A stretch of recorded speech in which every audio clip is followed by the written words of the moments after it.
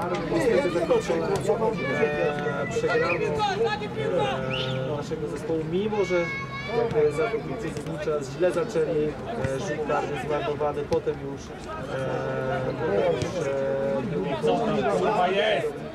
Teraz znowu się boiska, wycofana piłka i znowu zgrana Jana! Niestety, niestety,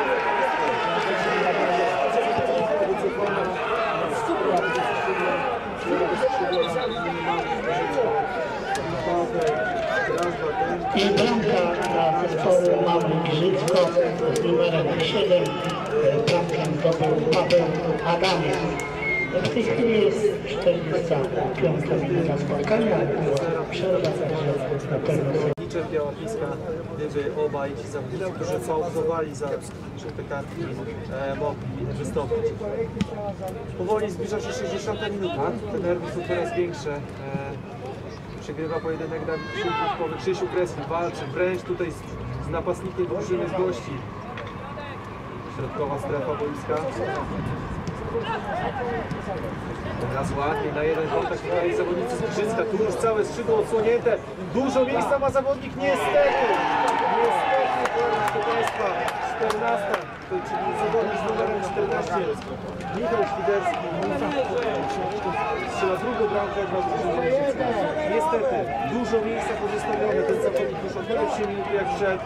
E, widać było, że bardzo, bardzo ciągnie I druga bramka dla piłkarzy z Niestety, w łatwy tak sposób między nogami Jacka Malanowskiego 2 do 0.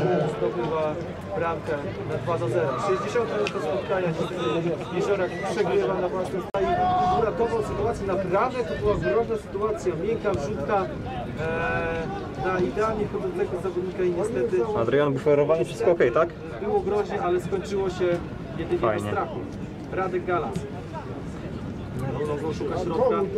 Tu Paweł Sagan. Bardzo dobre rozrzucenie na prawą stronę. Tu Kasper Neumann. Szuka w środku Arka Kucińskiego, który przyjmuje piłkę. Powalczy do końca. Sagan do środka. Tak, Paweł Sagan!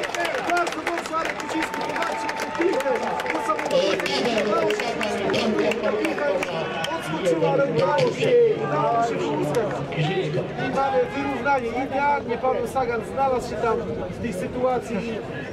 No mamy kontakt, mamy kontakt drodzy Państwo. Jeden do dwóch. Zdobywcą bramki Paweł Sagan. No a teraz miejmy nadzieję, zostało 20 minut meczu, że w końcu, w końcu ruszy ta maszyna, że uwierzą ponownie zawodnicy, że są w stanie przełamać ten fatum, że przełamać ten fatum pierwszego meczu e, nowego sezonu. Ale trzeba być ostrożnym, trzeba być, trzeba być ostrożnym, cały czas kontrolować sytuację również z tyłu, nie tylko do przodu. Zawodnicy Jezoraka grają dalej tutaj jakieś skurcze, to już 78 minuta spotkania, Radosław Galas, bardzo dobrze. Radek Gala zabrał się z obrońcą, szuka w poszukiwaniu Wojtka Figurskiego i zaraz Patryk Czarnota, 16 metr, Arek Kuciński, oddaje strzał! Mamy bramkę, dwa do dwóch, 78 spotkania. Teraz na posłowie przestrzeń pomiędzy obrońcami i udało Słupka. Mamy dwa do dwóch. Udało się, odwrócić losy spotkania, tak jak wspominałem, jeszcze dużo czasu było, ale jeszcze dużo czasu zostało do tego, żeby przechylić jednak żaden zwycięstwa na swoją korzyść. Mamy 2 do 2. Jeziorek odrobił dwubramkowe prowadzenie. Bardzo dobry strzał po dłuższym ruchu. Arka Kucińskiego, który piłka jeszcze odbiła się od słupka, spadła do bramki. Baranowski, aj! I super! Niestety, niestety, proszę Państwa, piłka od słupka.